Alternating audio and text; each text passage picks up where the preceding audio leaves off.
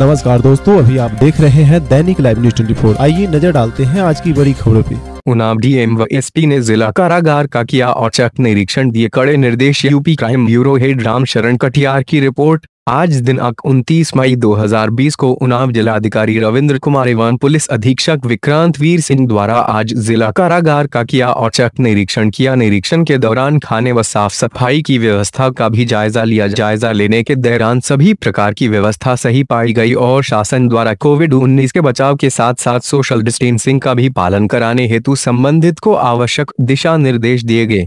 उनाव डीएम व एसपी ने जिला कारागार का किया औचक निरीक्षण दिए कड़े निर्देश यूपी क्राइम ब्यूरो?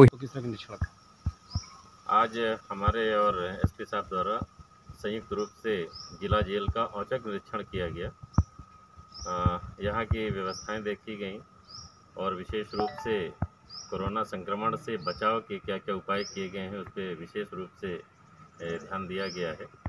और यहाँ के किचन की भी देखा गया, अन्य व्यवस्थाएँ यहाँ देखी गई।